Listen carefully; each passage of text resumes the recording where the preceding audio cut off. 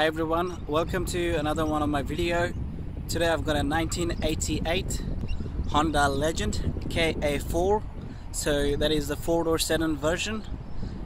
Um, this car is uh, quite a milestone for Honda because this is the one that they actually really try to get into the luxury uh, luxury car market. So this one when it came out it was one of the first Honda car that was offered with a V6 engine. It's the first Honda car to have a driver side airbags and the first one to have a speed sensitive power steering. So that means when the car is stationary the power steering is very soft but when it's high speed the power uh, steering becomes a bit harder as well. It's the first car that came with uh, ABS for Honda and it came with seatbelt pretensioner as well and it was the first I think front wheel car in the world to have uh, traction control as an option as well.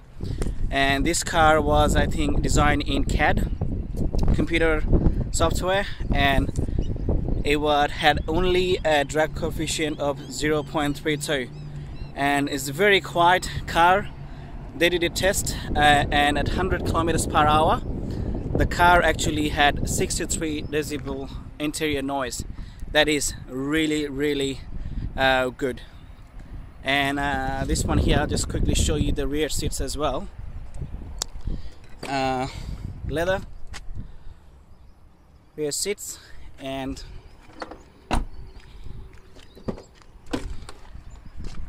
four seats. Sunroof. Let me quickly show you the engine bay and uh, the boot as well. Normally this car comes with 15 inch alloy this one has been changed with a 17 inch one. Now back into the engine bay and the boot. Here is the engine bay 2.7 liter V6 24 valve single overhead cam engine. Now let's have a look at the boot as well. Here's the boot nicely carpeted for installation and quite spacious as well. Next we're going to look at the interior. Before we get inside and have a look at the interior, I should mention about an interesting feature of this car and plus a similar car like Toyota Cressida or Mazda 929 in this generation is uh, if the car is locked and if you try to open up the car at night time you'll see this uh, section uh, is lights up to indicate the keyhole is here. And also this uh, driver floor mat lights up as well to see. Now these uh, seats are power adjustable back and forth and the tilt as well. And the height adjustable is manual with this button. We got the power window controllers here with all the power window controllers and power window function on and off for the passengers with this button there and we've got uh, central locking uh, uh, mechanism switch here.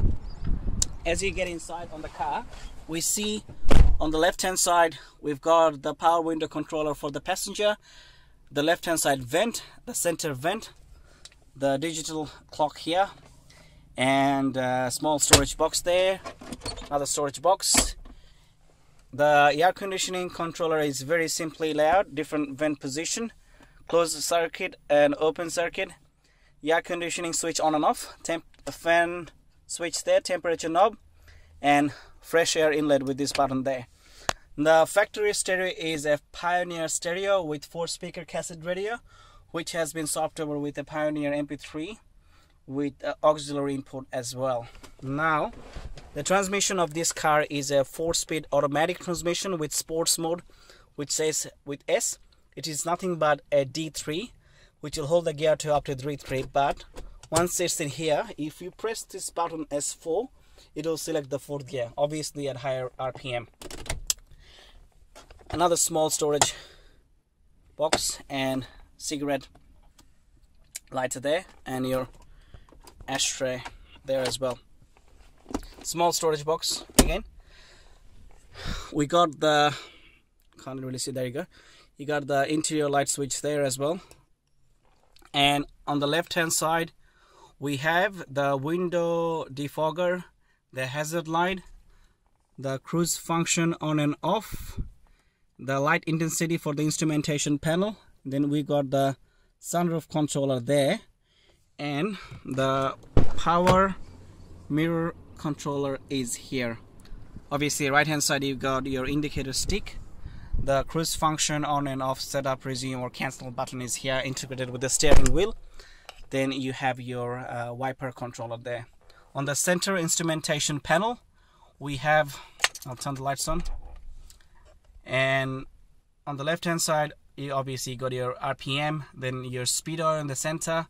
On the left hand side on the right hand side on the left you've got your fuel gauge and coolant temperature. Fuel warning lights on the top as well and the bottom you got your S indicator plus I'll try to focus in. As you open the door it'll tell you which particular door is open as well. Very good interior for its time. And now let's have a look how well she drives. All right let's take her for a quick spin. Um, I have the car for almost uh, two weeks now. Uh, let's start with the interior. The interior is quite good that it's almost 27 years old. The leathers are pretty good looking. Um, the air conditioning controller is very simple now the cruise control is uh, works pretty fine as well. I especially like these side vents uh, on the door. So on a, on a foggy day or a rainy day this section is clear so you can see the side mirrors very easily. Uh, the engine is very good it really loves to pull um, it makes 120 kilowatts of power at 6000 rpm and 230 newton meter of torque at uh, 4500 rpm the fuel economy is not bad either for a six cylinder car. I think the combined fuel economy is 10.1 liter per 100 kilometer which is uh, quite decent. Um, interior is quite actually inside. Uh, the suspension is a little bit soft because as I said when Honda designed this vehicle they actually were looking into uh, getting to the luxury segment of the market. So the interior uh, the suspension is a bit a bit soft but because all the early 90s Honda or late 80s Honda used to sit solo on the ground even with a softer suspension uh, it doesn't mind the corners uh, at all. The rear seats are quite spacious quite uh, enough uh, leg room uh, for you know for tall passengers and boot capacity is quite big as well so overall very good car to own so if you find one in good condition I would recommend to buy one uh, alternative to this car would be any Toyota Cressida or a Mazda 929 or a 5 Series BMW. Thank you for watching my video. I'll catch you next time. Bye.